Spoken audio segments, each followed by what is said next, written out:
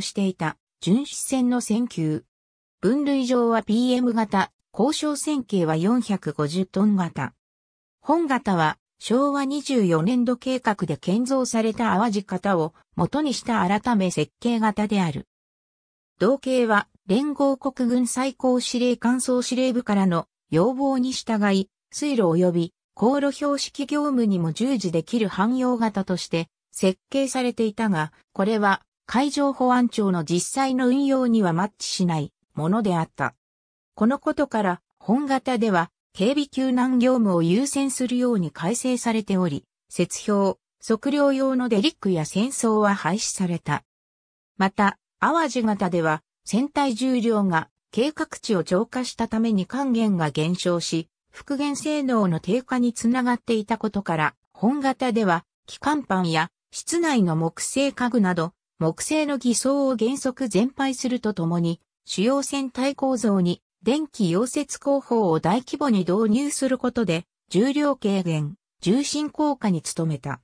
これにより、船体寸法は淡路型と同じであるにもかかわらず、常備排水量は同型より47トン少なくなり、復元性能の改善につながった。建造初期の段階で朝鮮戦争が勃発したことを受け、ダメージコントロールの観点からの配慮も導入された。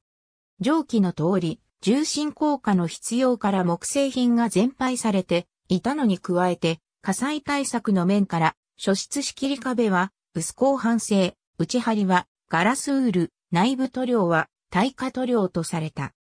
なお、建造当時、極東委員会の意向を受けた、連合国軍最高司令官総司令部民政局の指示によって、海上保安庁の巡視船は、排水量1500トン以下、最大速力15ノット以下、並走は消火器のみに制限されており、これは本型にも適用されていた。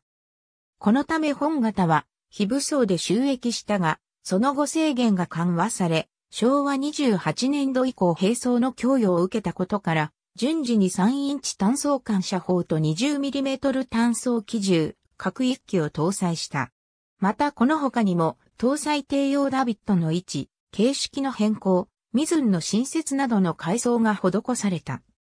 本型はまず6隻が建造された後、朝鮮戦争勃発を受けて1950年7月8日に発せられたマッカーサー書簡によって、さらに8隻が追加発注されたが、昭和25年度第二次追加計画での建造分は、さらに発展させた改め450トン型に移行することとなった。